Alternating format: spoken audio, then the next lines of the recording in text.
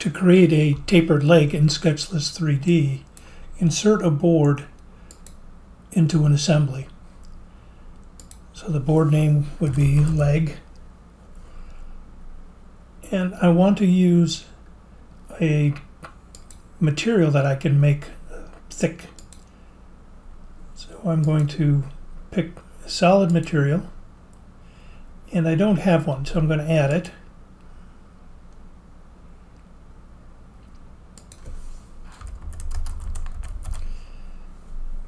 Solid lumber width 2, length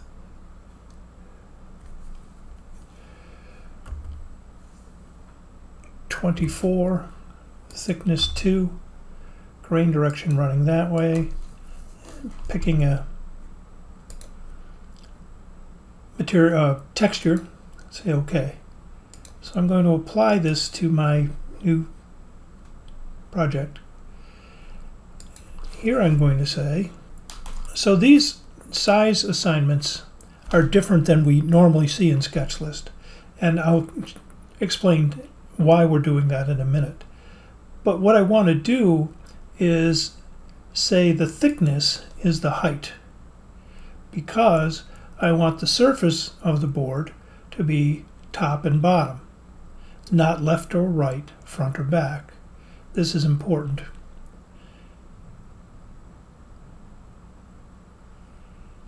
I don't really care about the grain direction. I can pick anything and then just add the board. That setup is important.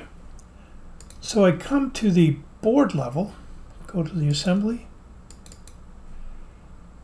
pick that board, take one of the sides,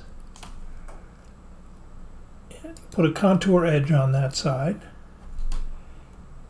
and this side.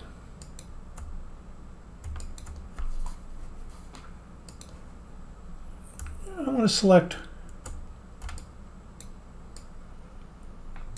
all four edges and I'm going to apply a contour.